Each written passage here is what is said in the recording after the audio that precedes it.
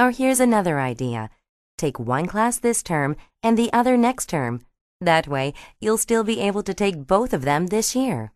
Well, sure, I thought about that, but I kind of wanted to get them both out of the way this semester. Both classes are pretty hard. It might be better to spread them out so your studies each term will be less difficult.